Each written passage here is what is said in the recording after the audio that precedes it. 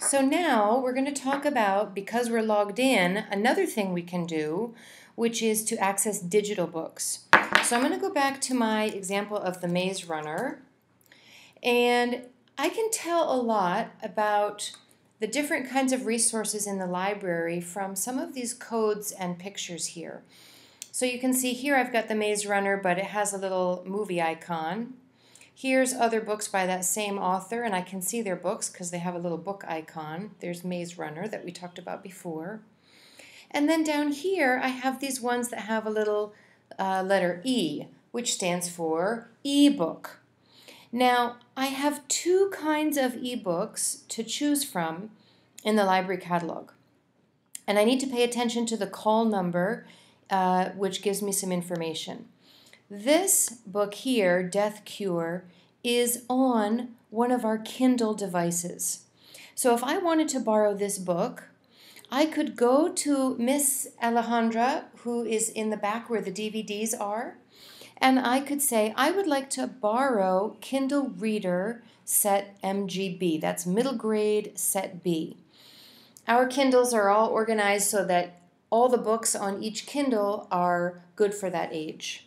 Okay, if I were to choose open here, it would show me um, all the other titles on that Kindle. So on this one Kindle device, I have all of these other books that I could read if I wanted.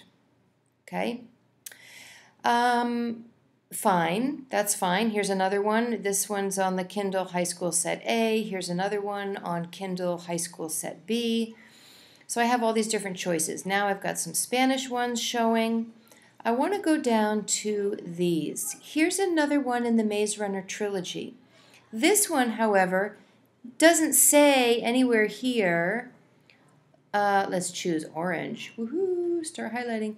It doesn't say anywhere here that it's on the Kindle. So where is this book?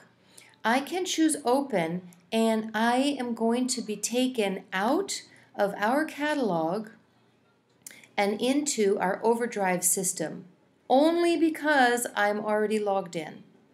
So it goes out of Destiny and into overdrive. And here's the book that I want right here.